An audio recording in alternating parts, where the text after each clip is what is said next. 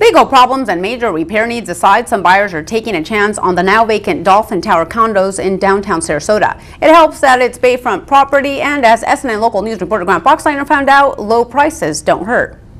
Lena, it's been two years since Dolphin Towers experienced those concrete problems that forced everyone out of the building.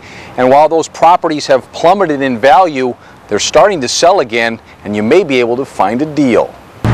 Condo units at Dolphin Tower have been steadily dropping in value since concrete problems forced residents to leave in 2010. The biggest thing was the uncertainty.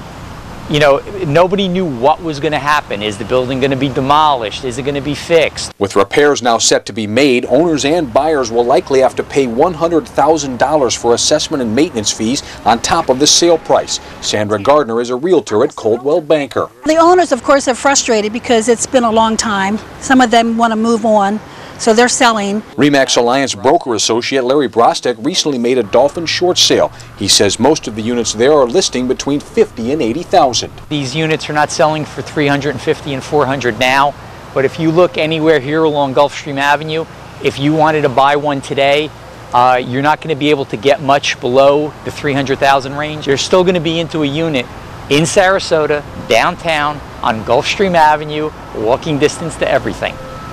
It's a great deal. And an investment that some believe is worth the risk. Total of 150, and you've got a downtown condo, two bedroom.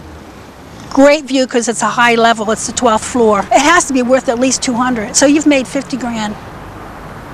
It's a no-brainer. And no repairs have begun here yet at Dolphin Towers, but some of the owners are being told they could be ready to move in by the end of 2013. Reporting in Sarasota, Grant Boxleitner, SNN Local News. Already in 2012, 17 Dolphin Tower units have been sold. That's on pace to top the 20 that changed hands last year.